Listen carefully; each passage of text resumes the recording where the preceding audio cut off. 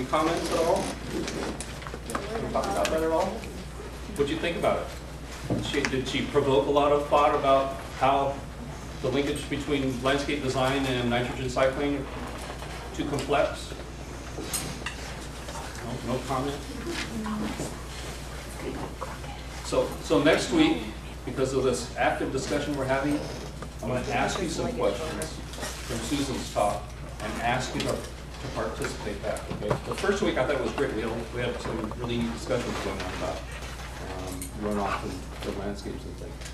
Uh, so next, so be prepared next Friday, uh, first for a couple of minutes, uh, I'd like to have a discussion of what was covered by Susie today, okay? Okay, so introducing Susie Kocher, Kocher. I was corrected by my, Susie Kocher is from El Dorado County. She's, uh, you're housed up in South Lake Tahoe. Um, She studies the, the Lake Tahoe Basin, and as you'll see, she's going to talk about uh, how development uh, affects the the fisheries uh, habitat, okay? Thanks, Lauren. And I'm really glad you're here. And I'm really glad, uh, I looked at your overall um, agenda for all the different speakers, and you're doing a really great, I think, overview and, you know, of what's really current and what's going on right now in the field and what people are currently worrying about and trying to solve those problems. So I commend Lauren, I'm happy to be here. Uh, my name is Susie Kocher. I work for the University of California Cooperative Extension. And so we're the outreach arm of the university. Um, uh, Lauren as well is an extension specialist, which means he's uh, academic based on a campus. I'm an advisor, which means I'm an academic based in a county. So um, uh, UC, Division of Ag and Natural Resources, we have staff in 57 of the 58 counties in California, and we're supposed to be responding to local needs. So there's a little process that says, El Dorado County, what do you need? And uh, we have a farm advisor that uh, specializes in pomology and wine grapes and works with the local industry there. Um, We have people who do horticulture, we have people who do water, uh, wildfire issues. Uh, I'm a forester, and so I'm up in um, the South uh, Lake Tahoe, I'm in the Tahoe Basin, so I'm working mostly on forestry and fire issues up there. But before I got there, I worked for about um, 10 years for the Center for Forestry at Berkeley and got involved in um, fish habitat issues, responding with local um, governments, trying to understand how to protect fish habitat see how well they were doing in their policies and procedures and development process. And so what I'm going to talk to you about, and you saw the publication uh, we wrote after having worked with counties and cities and local jurisdictions over about a five to eight year period. So I'm not a fisheries biologist, I'm a forester. Uh, uh, name on that paper that we handed you was Lisa Thompson. She's a fisheries biologist. She's here and specialist for extension. She's here on the Berkeley, on the Davis campus. And she's really great. She does lots of great fish projects and monitoring all over the state. So I will do my best to tell you about the fish issues, but if you really want to know about fish, she's the one to see. Um, And we worked a lot more with the riparian habitat and things like that. My goal today is to tell you a little bit about uh, California salmonids, the issues uh, for their habitat and how development affects that habitat, and then what's being done, what our local policy solutions are, where we're at for trying to improve things. Well, so you all know California grows uh, quickly, leaps and bounds. Uh, Over 8 million in the next 15 years, we think. Another 373,000 acres of undeveloped land should be converted to, um, to residential uh, uses. And these figures actually are that, out of that publication. Um, And so we think the urban footprint will be expanding. Uh, Some of that might be in already urban areas, uh, and if you all grow up and be landscape architects, you know, maybe you'll be working in a city where they've already done all of this, but there's the potential that you'll be out in areas where, you know, there hasn't been a lot of development, doing new subdivisions of landscapes and that sort of thing. So there's a lot to know and keep in mind if you are freshly developing land so that you can avoid impacts, because retrofitting after you've done it, boy, that's hard and expensive. Okay, so California salmon and trout, you, uh, together they're known as salmonids. We have 31 distinctive kinds, 20 of which are found only in our state. So we have a lot of diversity in our salmonid species. And part of the reason for this is because of our amazingly diverse climate in California. Um, you know, different mountain ranges, coastal ranges, uh, lots of areas where habitats are not connected. Southern California, a lot of the watersheds along the coast don't lead inland at all, and they can have subspecies of fish. So we have just a lot of biodiversity in the fish, the fish assemblages. Um, we have southern all the way down to Los Angeles County um, that are adapted to living in streams that grow dry every year. Hey, um, and so those fish uh, are very different than northern fish that need year-round water. So our adaptation strategies in our fish are incredibly broad um, in California as well. And as far as salmonids go, you know, there, there aren't that many that actually go for living in habitats as intense as, um, you know, LA County with dry streams that dry, dry up every year. What they do is they head to the headwaters and live in pools, and they wait for the water to come, and then they go downstream. So it's pretty amazing what those fish can do. Um, anadromous salmonids, anadromous means that they migrate between inland and the ocean. We have salmonids that are not anadromous, that are landlocked. Your average rainbow trout that you might catch in a stream is the same fish that would then migrate to the ocean and be called a steelhead. We have completely anadromous species, we have species that can do either. Um, and steelheads are, are amazing way. Um, so that's just your little life cycle. Everybody's seen your National Geographics. We're all impressed by the uh, amazing fortitude of a fish that can jump all the way back upstream, spawn and die. I mean, it's an inspirational life strategy. Uh, but to just summarize, they're eggs that are deposited in a stream in gravel, they hatch. Um, they emerge, they're called fry.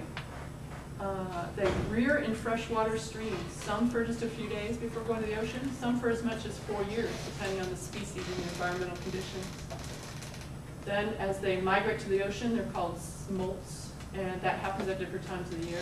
And they have to change their whole body chemistry to be able to handle salt water. Uh, they live in the ocean for between one and four years. And so as a strategy, this is pretty amazing because what you can eat in a stream is pretty limited to you know, uh, macro, mac, uh, benthic macroinvertebrates or the bugs underneath the rocks and insects that fall in. But generally, you can't get that big in the stream because there's not that much food. But if you have a strategy to go out to the ocean, you can eat a lot. And you actually have very large fish that can result in uh, 50, 100 pounds. So you, you grow in a protected area, you go out there, you feed, um, and then you come back and you swim upstream and you spawn. Some species, well, you know, we know that we have that pattern in our mind of the, the fish that spawn and die, um, but some of them, like the steelhead, they don't die every time. They can potentially come back four times and go, go back and forth. Have a, a wide range of being able to do that. So that is the general salmonid um, habit. And, uh, you know, if you're, a, if you're landlocked, then you would stop right here and you just do this without going down to the out, out, out into the ocean. Okay, so what does a salmonid need? Uh, if any of you are fisher people, you would know that there are cold water fish and warm water fish. So a warm water fish would be like a bass that most self-respecting fisher people would not really want to eat. Um, and if you're a more discerning fisher person, you'd rather eat a cold water fish. Um, they start in spawning in um, gravel habitats here. Uh, this is called a redd. it's a nest. They need nice uh, oxygenated water, so they can't be too cemented with sediment coming in from the watershed or that will cut off their oxygen supply. So they need fresh, clean gravels uh, to spawn. To rear, they need fairly cool oxygenated water, they need hiding places, they need food, they need inputs from the watershed. Um, some of those southern steelhead actually do okay in pretty warm water and grow fast, as long as they get enough food. It's really about having enough metabolism to survive. Um, and then they need to migrate. They need that barrier-free route to and from the ocean. So like I said, um, rainbow don't have to become steelhead, they'll stay rainbow. And if you've ever known uh, kokanee salmon, those are landlocked um, um, sockeye salmon. So there are some versions that don't do the whole thing. Okay, so in California, I just want to go through some of the most important species. This is actually a picture of uh, the Kokanee Salmon Festival up in Lake Tahoe. Um, The, the major species, we have Chinook, coho, steelhead rainbow, and cutthroat. Um, So eight species of Chinook salmon, or eight kinds with different habits. Uh, Coho, steelhead, and then uh, three different kinds of cut- cutthroat trout. So here's the Chinook. The Chinook are the big river fish like coming up the Sacramento. Uh, And they once supported major commercial and recreational fisheries. They're all pretty much in decline. And then this is just a list, oops, sorry.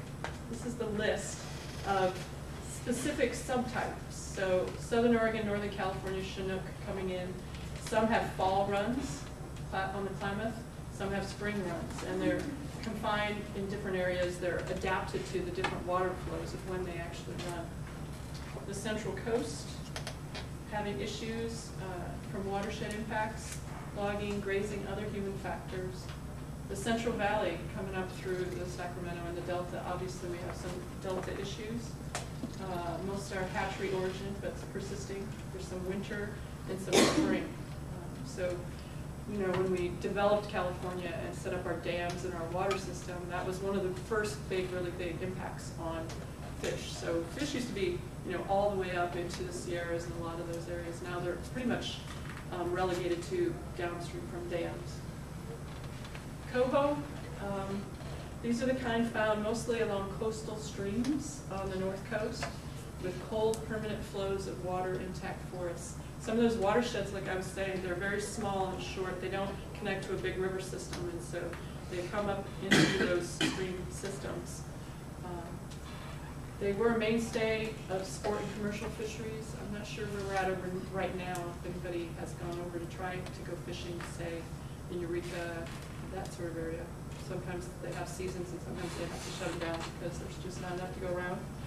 And, um, sorry, we have the Southern Oregon Northern Coast is listed as threatened, and the Central California Coast, Coho, is listed as endangered. There are a lot of state efforts through Department of Fish and Game to recover Coho and try and do projects to improve their abilities to survive. Um, but that's where it's at with coho, so you can see nineteen seventies, this is all the west coast, California, Oregon, Washington. So California, we're the squares, we've never had quite as many as, as uh, Oregon and Washington, but it's, uh, you know, not looking really good over time. Steelhead, uh, so it looks like a big fat rainbow. Here's the different runs, We've got winter, summer, Central Valley, they have uh, threats of different uh, reasons. Sometimes uh, the hatchery programs have diluted their um, genetic capabilities. Uh, Coastal watershed sediment issues, dams, water diversion. Um, Southern California, you know, heavily urbanized landscapes, passage barriers, water being used, it's really hard to be a fish there. I have a colleague that works down in Los Angeles, and she was studying one of the, they, they found a run that was there for about three years, and they all turned yellow and died. So she's been working with different scientists to try and figure it out, but, you know, in a heavily urbanized landscape, it's really hard to know exactly what that is. Or, you know, pesticide, water, yeah, I'm sorry, I, the coho that was endangered, was it the red, red, darker one? of the Yeah, that's two? what they look like when they, um, Okay. The- well, the the ocean and the spawning, that's the same fish. It's the same Those aren't fish, two it's different runs, but they have a different look when they're spawning, because you know, Okay. then, after they enter the streams, they don't eat anymore. Uh, oh, And they are gonna die, and so they just put all their energy into going upstream. They have those jaw changes, because they're no longer eating, and they're just fighting the other males for space in the redds. okay, oh, okay. Thank you.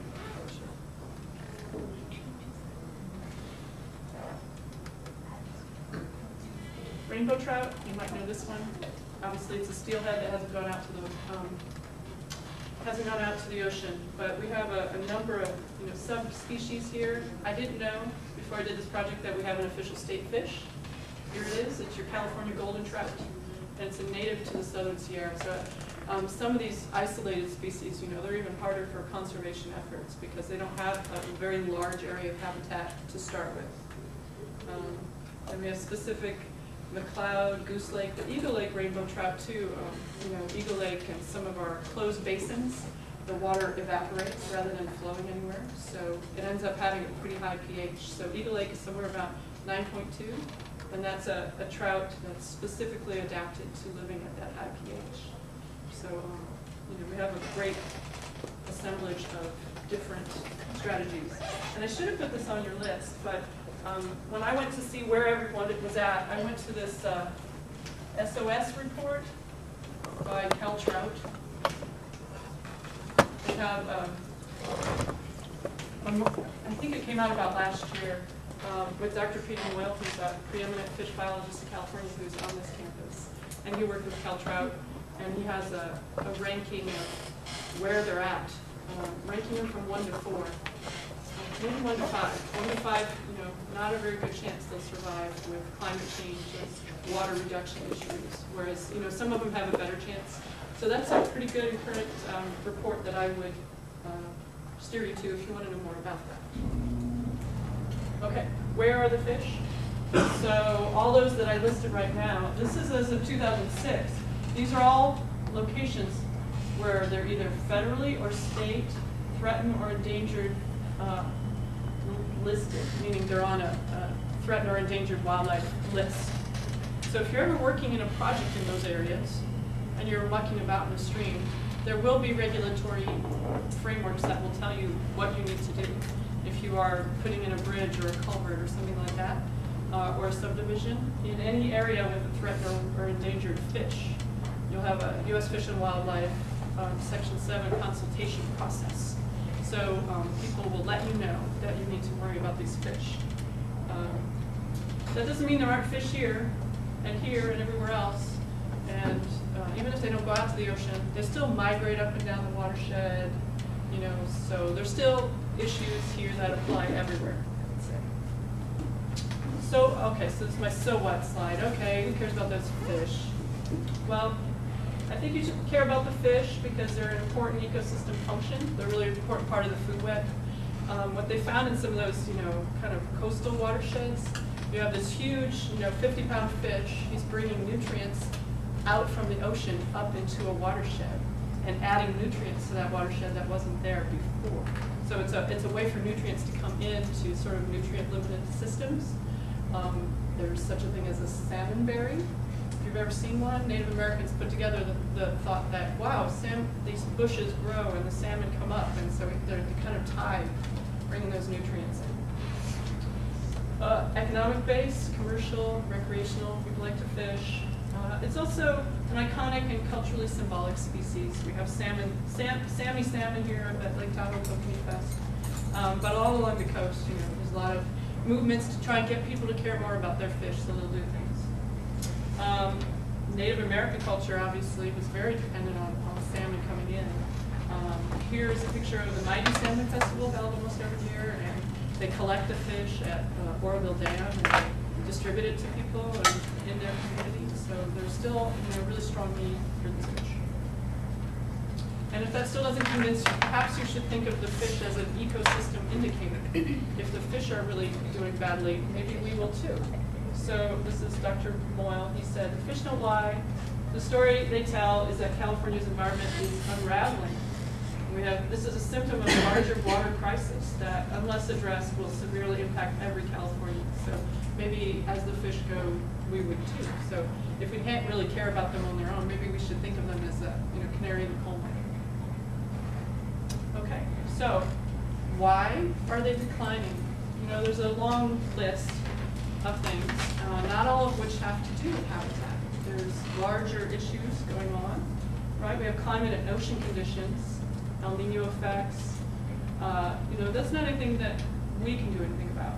Uh, harvest, you know, most of that has been curtailed. The things that I think that are relevant to you are things like uh, changes in water quantity, stream channel changes, sedimentation, migration barriers. So I've tried to focus on those specifically and how those are um, part of the land development process. So if you are working in a subdivision and putting in culverts or road crossings, straightening channels, clearing vegetation, uh, working on flood control, just have regular urban uh, runoff, or changing water quantity by stormwater runoff or water use, then you're affecting the habitat conditions in the stream.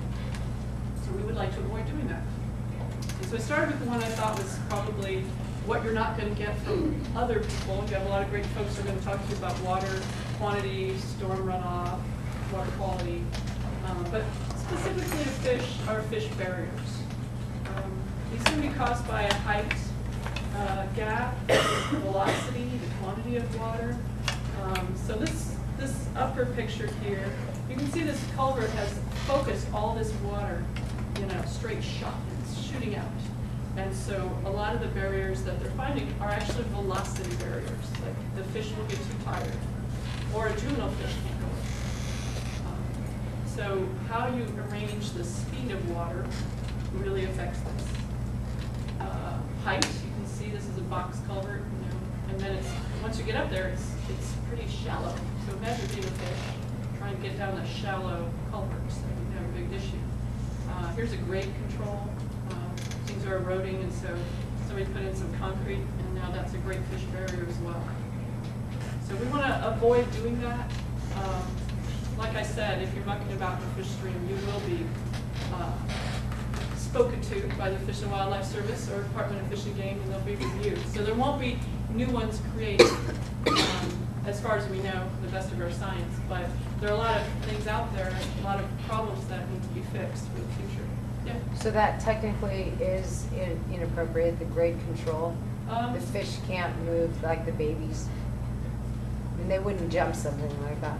Um, There's a lot of science that looks at it, at what Okay. exactly it is, you know? You can't be standing there the whole time to see. Yeah. And so, um, the Forest Service and other, um, agencies have developed some measurements that they feel are pretty accurate in predicting whether or not things, and juveniles and adults can go up it. And this one was one that, uh, in our assessment, that was an issue. It's Absolutely. interesting, because Montgomery Creek, I've never even heard anybody talk about rainbow trout. I, I kind of feel like I've never, it's like no one even knew they existed. Rainbow, I mean, excuse me, yeah, Montgomery Creek, it's like Redding right, headed out toward kind of Lassen. Yeah. Uh, before Burney Falls. Okay. And they have little tiny concrete barriers, and I realize that it keeps them. Well, there, they, there has been a whole effort to try and adapt older things that are out there or take them out and redo them. So you'll often see like little step pools Yeah, built okay. to go up that they think help. Okay. You know, there's a lot of legacy out there. Okay. And whether or not they actually do it, it's not that easy to observe. So Okay. they think they have a pretty good methodology and a ranking system to try and convert these elements. But that's a pretty hot spot for fish, for Chinook going up into the Sierras. Oh, um, oh. Up Butte Creek and Right. everything on north of there. There's a lot of really nice fish runs still. Deer Deer Creek and Mill Creek. Yeah, Absolutely. Oh, so that's still good. then. Yeah, those are like the best, two best streams in the Sierra. Okay, Because they were never dammed or. Right, they actually plant for fishing, so that people, you know, get their fill and leave everybody else alone, kind of. Uh, and That's the theory, that's part of it. Okay, so, um, instead, you wanna make sure you're maintaining fish passage in the stream. So here was an outlet, you know, for a road where you're crossing the stream before it was replaced. And here it is after with an arched culvert, or an arched culvert bridge. So that now you have a natural stream bottom. Of course, it cannot migrate, uh, which a stream would naturally do, but you still have a better chance as a fish. And, you know, this is dry, that's just, when they replace things, they dewater them, or this might have been the time of year. So it's not the quantity of water here that we need to notice, it's the fact that, you know, we have a natural bottom that can rework itself, and a fish is much more likely to be able to go up that stream. So this is actually where there's been the most work in a lot of um, local jurisdictions, going out, identifying these things, applying for money to fix them. And it's actually, you know, really expensive.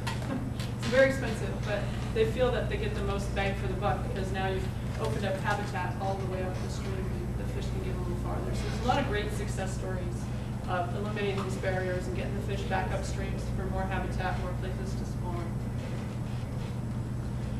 Stream channel changes, urban stream syndrome. I think you're getting more of this on one of your future speakers, but just, uh, you know, overall, uh, you have your natural stream and then you add stormwater runoff and sediment. You, some areas over on the coast, they worry about aggradation, they get buried in sediment.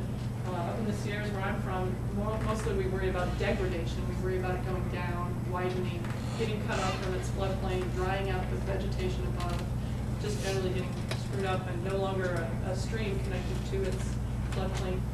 Uh, you know, here's an extreme example, in Weaverville and Trinity County, you know, you're in town, so you harden it and you make it a, like a ditch. There's actually, you know, coho in here, and, uh, they're letting this degrade, and so they hang out in the little holes underneath the, uh, cement. Who would have thought? Um, but I'm sure it's a candidate for a future project to improve the stream. Uh, So you put all that stuff in the stream, that's not natural, it starts moving around, it's threatening your homes, it's threatening your roads, and we respond by eh, stream bank stabilization. So this is a, a bunch of natural native gate, uh, I'm sorry, so they're, um, wire basket gauges with plants growing in it. You know, this is your serious urban stream with a completely cement channel, uh, to protect these homes built in a floodplain here in Palo Alto, not that long ago. So, you know, this is bad for fish. This is not a natural stream. We don't like this. We like streams that can have the ability to move around and have some gravel in them. We don't like that. Um, Here's a house. The water was threatening. Here's the riprap in response. Now you've hardened the stream bank. There's no riparian vegetation. Um, And so you've degraded the quality of food inputs, the ability of the stream to move around because this house is too close to this channel. And we find that everywhere in California. People building right up to the sides of channels or streams. And uh, this is the inevitable result. And there's a lot of practices out there, good, bad, ugly. Got a good look at some of this. Here's a- another little stream with perched logs. So like logs put there, maybe that's a little better, it's soft, it's not permanent, maybe plants can grow there. But there, there's an amazing variety of things that have been done to make that stream channel, channel stable and not threaten private property. So here's another, you know, brand new one, here's the stream. You know, and eventually, as that stream moves, you're gonna have a lot of pressure to fill in, riprap, take out veg, harden. Um, so instead, we shouldn't channelize streams. There's a lot of permitting process through Department of Fish and Game. Generally, you won't be allowed to anymore. Uh, Levees, flood walls, all these things kind of get in the way of the stream's natural functioning. Don't build in floodplains or next to streams because this private landowner's property interest will win out. And next thing you know, you'll have uh, riprap. So if you can manage a setback farther away, you have more chance in the future of keeping that stream channel natural. Other ways to maintain natural channels, there's uh, evolving practices to um, use fish, more fish-friendly techniques. So this one's already pretty incised and hardened, but instead of uh, doing a lot on the, on the bank, they put in these uh, rock vanes to slow the stream energy. You know, fish can still go through there. Uh, They're bioengineering, they're using willow cuttings, and so in this project, eventually you will have some riparian vegetation which will improve habitat. So um, there's a lot going on here with bioengineering and trying to improve streams. We've basically gotten away from concrete, but, you know, there's still a lot to do. Yeah. I'm sorry, one more.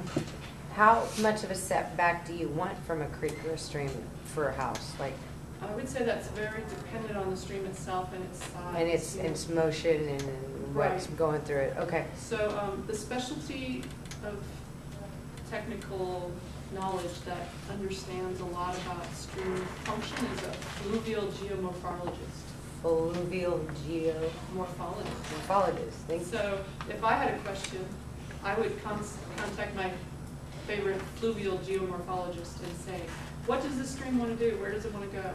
If you Oh. have that kind of freedom, you may be required by policy, To, post- to. by do that. certain amounts. Unfortunately, you know, in, with laws, we'll say fifty feet or hundred feet. Yeah, you're right. Because we have a law and we have lawyers, so it doesn't always get to function. Right, So Function. generally, people do the best they can, but if they can do anything, then they should stay away from where it's going to migrate. okay, thank you.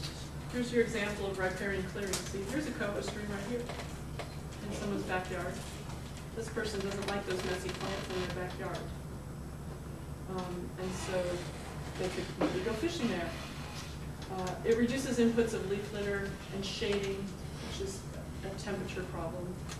And then the banks are vulnerable without that riparian vegetation. That's the number one thing that they're supposed to do. So instead, you should try and maintain riparian vegetation as much as possible. This is a subdivision on this, um, in Palo Alto near uh, Stanford. Uh, This big subdivision over here, here's the stream. They put a little fence here and maintained the riparian buffer.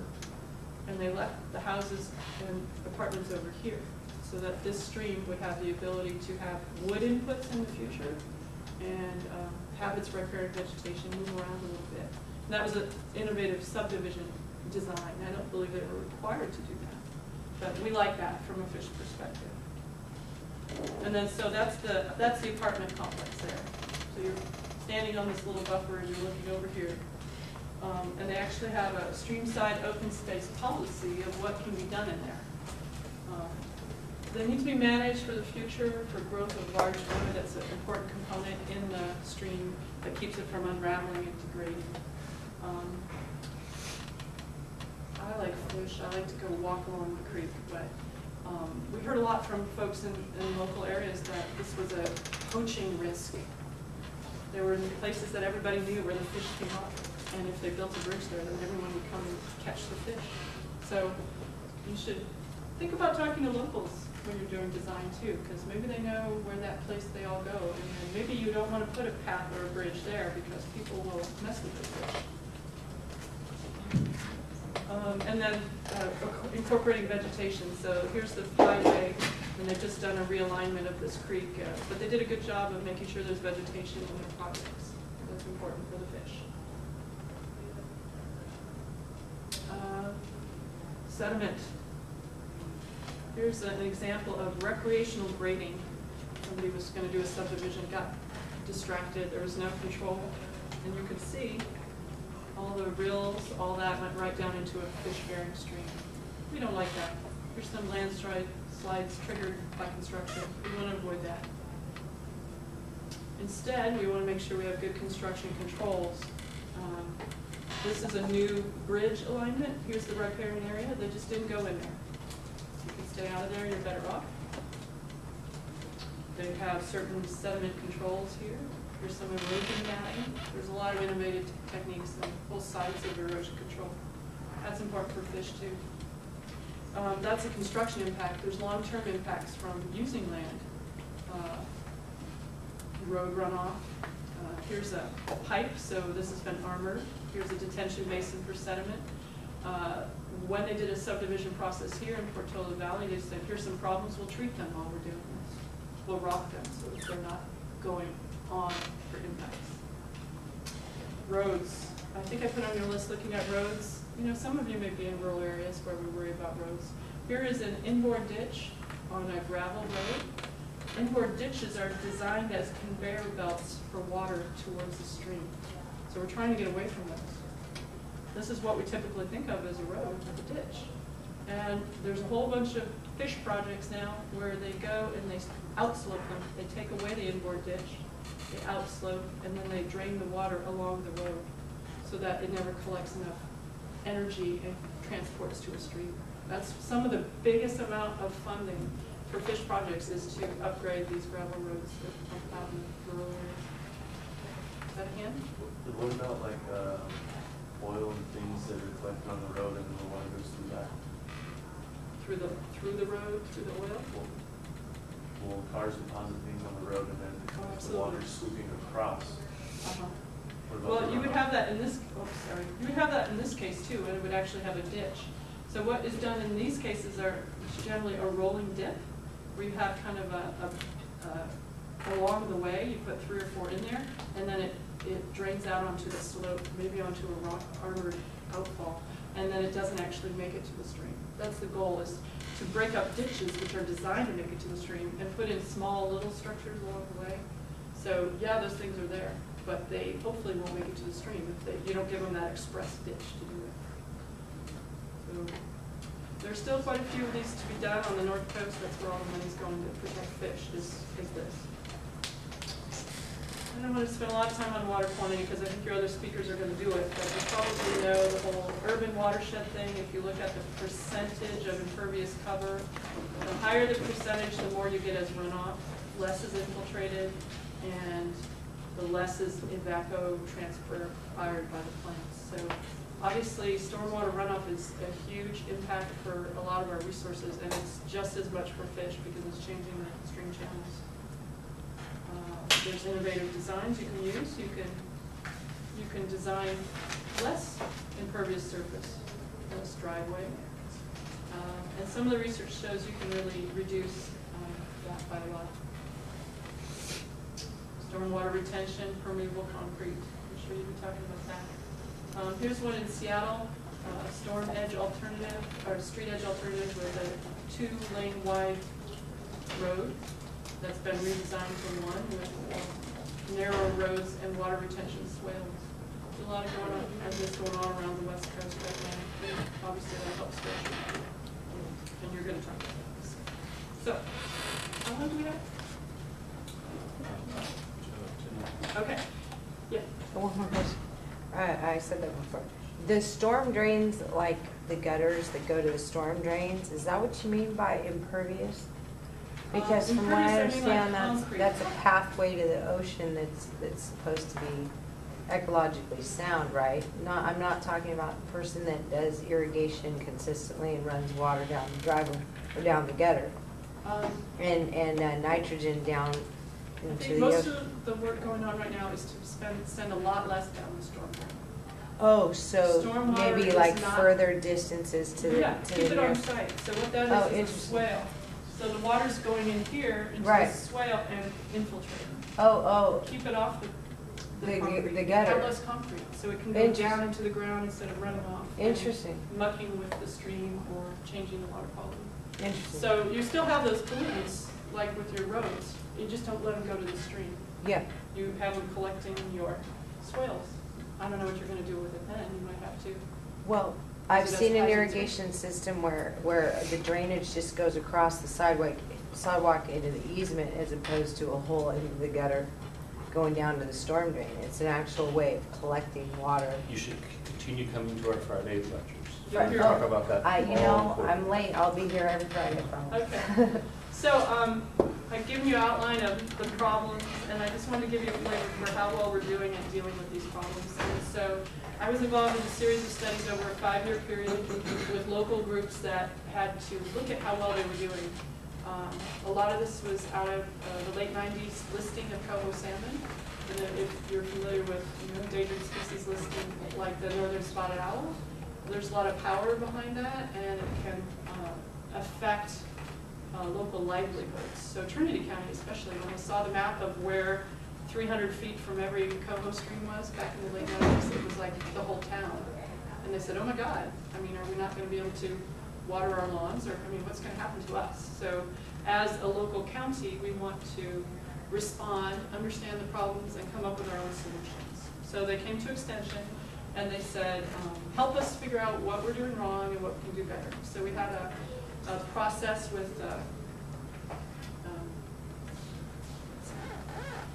this group, the Five County Salmon Conservation Program, uh, from Del Norte, Humboldt, Mendocino, Trinity, and Siskiyou. Uh, That's a very rural area, about 12 million acres, 16 people per square mile, and not a lot of development going on, fairly um, depressed economy, uh, and two others. So they uh, engaged us to look at how well they were doing in their local policies. Uh, And then we also went out and looked at development sites, and we said, okay, this went through CEQA, California Environmental Quality Act review. How well did they think about fish and what did they do? How did they change things to accommodate fish? Um, So one thing to say is that local jurisdictions like counties and cities, they're really not the people in charge of fish. You have Department of Fish and Game, U.S. um, Fish and Wildlife Service. Uh, They look at streams and things like that. So um, they do do things that affect fish. They may do their own projects in streams, and also they permit development, subdivisions, and all those things. So they have a limited role, but an important one. Uh, So I told you about the five county. FishNet is six counties in the Central Coast, and then we work with San Francisquito Watershed County uh, Council in the Bay Area. So here's FishNet. That's all the way from Mendocino down to Monterey. And um, urban and rural, wildland, low pressure in the south, mostly infill in Marin County, that's mostly developed. And then here's the San Francisquito watershed, uh, creek area, San Mateo County, Palo Alto, Menlo Park, Stanford University, this whole area. Uh, Santa Clara, all those areas. Um, this is mostly all developed, there's new stuff going on around Stanford campus. But mostly re- redevelopment of some, you know, tough neighborhoods. So we looked, um, we worked with their planners and their, um, public works people, we looked at what they did out in the field, we looked at the policies they had written down. These were mainly what they do, um, levee construction, storm drainage, a lot of emergency grading and maintenance when floods come, things like that. Uh, street sweeping, herbicide spraying, and it's kind of in that area, there's not a lot of rural road maintenance in San Francisquito and Palo Alto, but there's a whole lot of it up on the north coast. So I personally read every general plan and every ordinance and element that might have something to do with a fish. And that was, yeah, I don't think I'll have many of those left in me, but I did spend a lot of time reading all that stuff. Land use, zoning, circulation, transportation, and um, categorize what kind of impacts they were avoiding. And then we reviewed the projects in the field. So what do we find? Basically, there weren't any um, jurisdictions that actually specifically had policies about fish. Mendocino County did have a salmon and steelhead plan, but really wasn't implemented. Um, And they really differed on how well their policies protected it. The best was the CEQA process. So if you're familiar at all with CEQA, if you develop uh, a new subdivision, you'd be required to go through an environmental review. And generally, when folks were required to do that, they did a pretty good job with input from state and federal agencies uh, protecting fish. The hardest part was on already developed lot, or something that's considered ministerial, and you don't need all that, then there was very little thinking about. The others that did really well had, were part of the National Pollutant Discharge Elimination System, or NPDS, that's required to meet the Clean Water Act. If they had programs like that, then they were working a lot on water quality and quantity and things like that. So those folks did the best. That's usually larger cities. Um, and there's a process by which different areas have to comply, and the ones who didn't have to comply did much, um, worse. Water quantity, uh, runoff controls, you definitely saw them in subdivisions. Uh, It's getting to be standard practice to actually put in detention basins and things like that. But if you bought a lot, um, no one in general would ever tell you you had to control your stormwater unless you live, you know, in the Tahoe Basin, where I do. Um, There was an exception in, let's see, Menlo Park, if you added five hundred square feet to your house, you had all of a sudden do all this runoff control.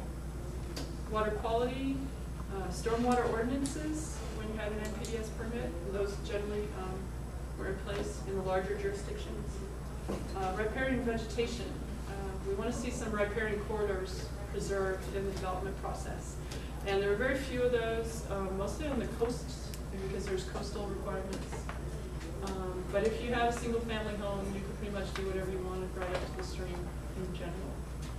Uh, Floodplain development. It's still happening. Most floodplain ordinances would say you have to be uh, a foot over the uh, high water mark, so people, developers would just bring in dirt and fill it up, and then you would be above the high water mark. So that's still happening all over the place.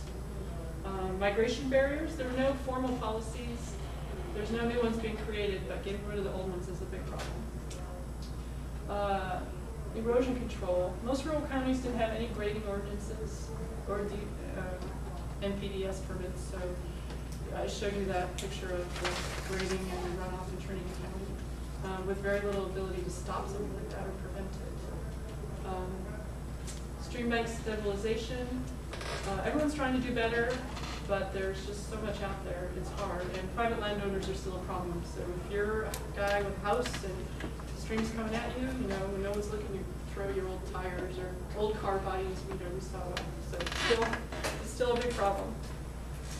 Um, in the last five counties since ninety-eight, what they've been doing is really focusing on rural road maintenance, inventorying roads, trying to improve sediment, uh, improve fish passage, find biologists that can help, give education and training, participating in recovery plans, so they've built up their expertise to do that. Fishnet 4C, um, they were looking at in-stream flow in the central coast and trying to have a plan to figure out how to keep that water in the streams for fish. There was one doing a riparian ordinance sediment they were really working on, roads manuals, improving their um, grading policies, uh, migration barriers, uh, participating in plans, you know, getting experts. We worked with a woman who's a fish biologist working for Public Works, that's her full-time job, is to help them figure out how to do better with their grading and their roads and their culverts. So overall, after looking at all these areas, um, our conclusion was that, you know, you have those rural areas where there's still a lot of really good fish, and those are the areas with the least policies and the least controls. Um, someplace like a city, like an urban wash, uh, San Francisco, and Bay Area, had a ton of policies, lots of procedures, but very little fish. So it kind of seems like our societal response is too late, you know? If you're developing an area with tons of fish, you know, maybe we're not perceiving it as a problem. It's hard politically to put in policies. And um, once it's already gone, it seems like we get really excited and putting all these rules, and, you know, it's a little too late. Um, Projects requiring discretionary permits, subdivision CEQA review almost always did, you know, pretty well. Um, We thought they could use a lot more expertise in rural areas to prevent future impacts. Um, And so if you want to improve things for fish, you you need to control development where it's happening. And then there's all this retrofitting to be done in cities. So it's really important and it's really expensive and it's not that easy to do effectively once the infrastructure has gone in. So, I mean, my take home lesson from this one is like, before you do it, avoid the impact because retrofitting is difficult and expensive. Um, but local jurisdictions and, and collaborations have an important role, um, cities and counties. They can do what they can do as part of their, um, as part of their contribution, you know, in the specific areas that they, they look at with the expertise to do it. Questions? Any questions for Susie? Thank you very much. As with all the presentations, uh, um, it will be posted online. I probably won't get to this until like Monday. I have a question about SmartSite. Have you been getting emails from- from SmartSite now? Okay, I think I've got that fixed, right? You got, you enable access to materials there? All right. I haven't seen the videos yet. I, I keep checking to see if they're up, if they're available online. I haven't seen them yet. I know they've been submitted, I think. I think uh, Brad Brad's, said he's. submitted Brad's them. doing it. Um, something about Aggie TV. I'm not really sure. Uh, I haven't seen them there yet. If, when I see them there, I'll let you all know through SmartSite that they're available. The the power